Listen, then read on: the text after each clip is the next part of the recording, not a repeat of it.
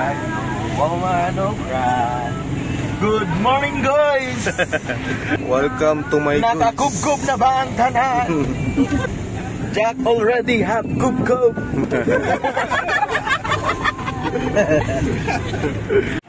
Daming matrona guys. Oh. Sino ba single dyan?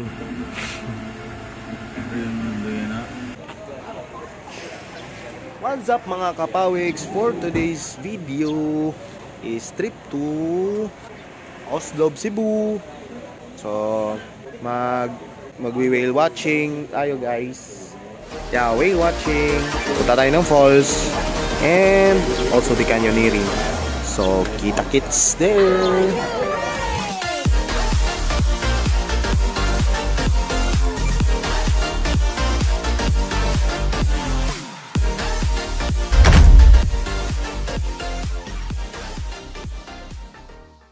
Good morning, guys! Huh, dugay-dugay na punta wala ka-upload aning kalakiha. Depende jung bisiha aning upawa. Pero sagdira mga kapawiks, ang importante sadya ta ug malipayon ta sa atong gipang buhat everyday. And syempre, ayaw ninyo og kalimtig sampit ang naas taas ug mga pasalamat sa atong maayong panglawas. I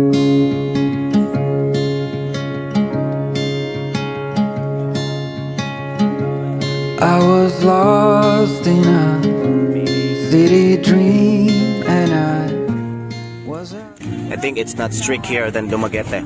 Okay. Wow. So our video for today mga kapawiks is trip to Oslo, Cebu. 10% ulit kami siya. Ha? 10%. 10%. Sama kami eh. Hindi ko nadala yung senior ID ko.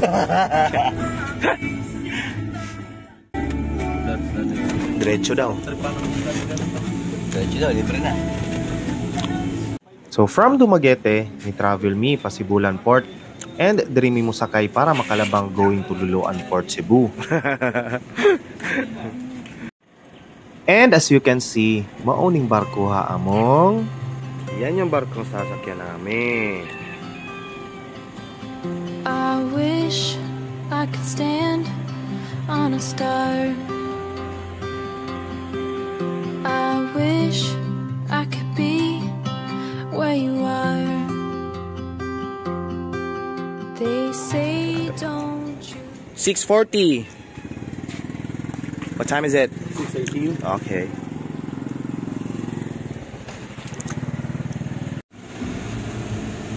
Alright, let's go! So, in this moment mga kapawiks, is pasulod na mi sa barge nga among sakyan. And for the travel time is I think mga 45 minutes lang siya from Sibulan Port to Liloan Port vice versa. And actually, dili lang pod barge ang naadiri ha. They have fast craft also. Na I think ang travel time is 25 to 30 minutes lang ata. But obviously, kay gasakyan naman mi. So, matik, hello barge! Ata pa ka? Asa to nga, Japon eh. Ano? Right side, right side. Right. Yan, yan, yan. Sige. Okay, atras. lang pare yan. I wish I could stand on a star. I wish I could Dikit lang daw konti sa ano, sa item. They say don't you ever give up. It's so hard to be something when you're not. But I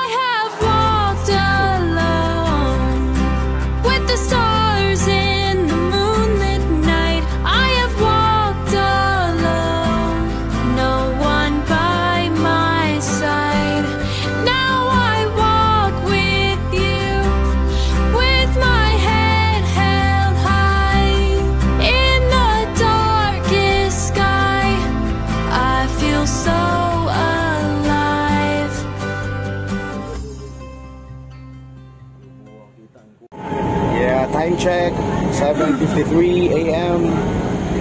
and we're almost in Cebu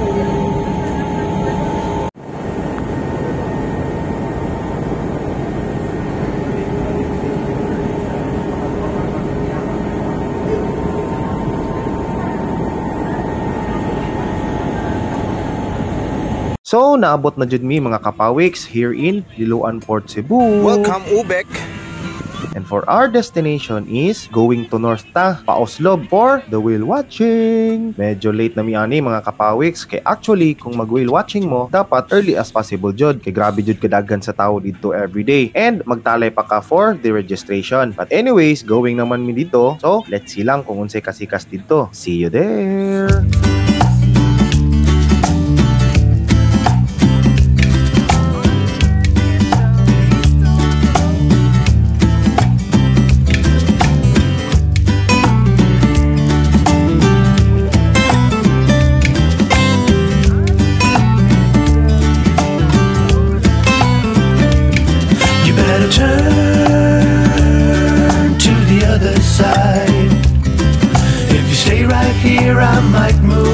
To your face. It's been a long and tiresome day. I've been waiting to come home and give you everything that I have. Now we could stay awake all night and have dinner. Nagdala kami ng tour guide. Eto. Papsi!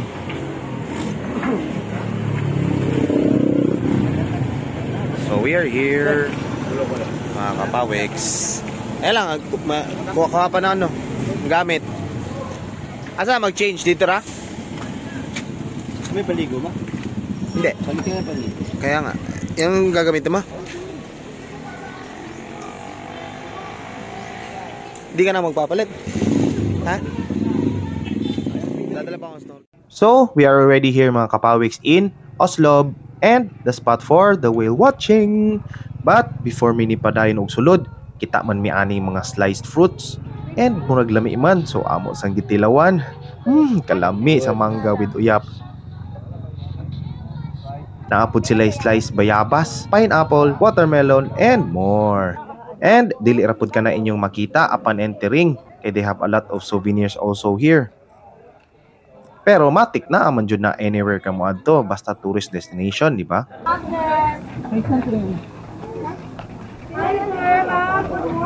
So, this is it mga kapawiks, ang Talay Time! I hope na lang mabara ang talay mga kapawiks for the entrance and logbook. So, tuara, muna ni siya mga kapawiks. For the step 1 is need pata mo logbook. Sulat ra tanan Kleng.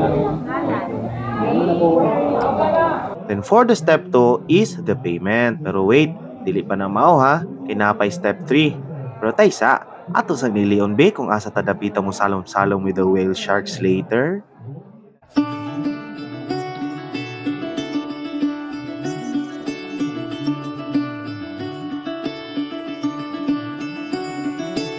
Caught behind Venetian blinds Had to reach for the city lights This ain't where I belong. Hey, look at me, man, what I've become. I've been running east Looking for a sunset Digging deep. Since 99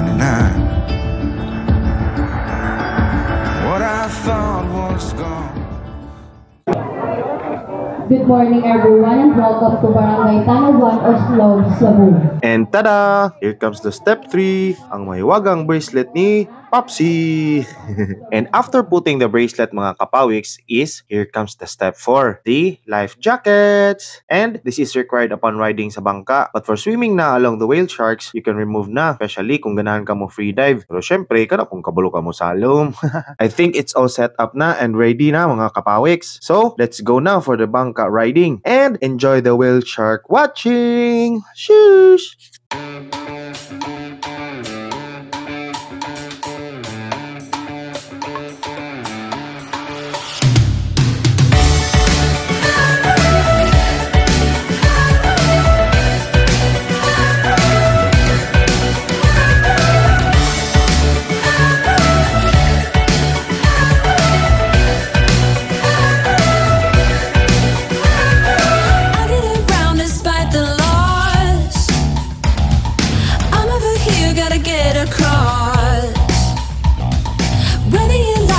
like it or not, there is a moment meant for us. And now you made it, but I already played this. Not interested. Open your eyes, let's get it done. Take my hand, just follow me. Shadow and me are one.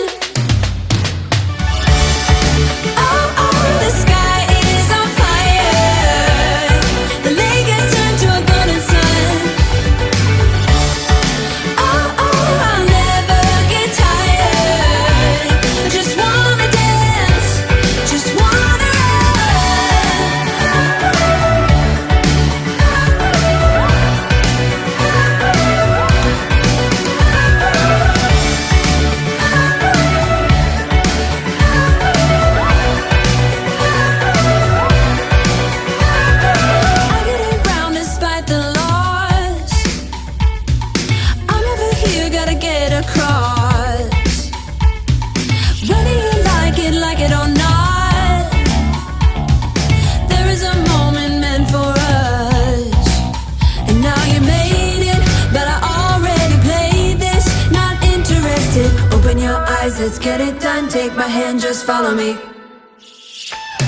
The shadow in me, I want.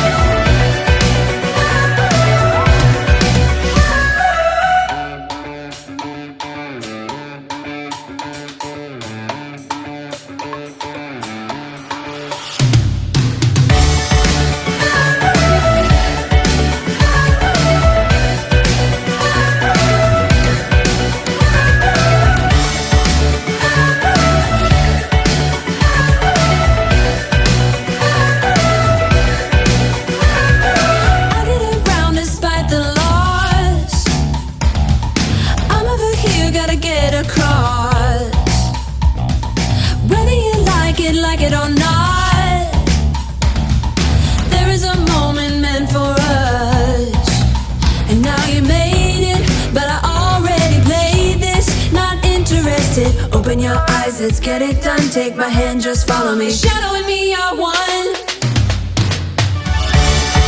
Oh, oh, the sky.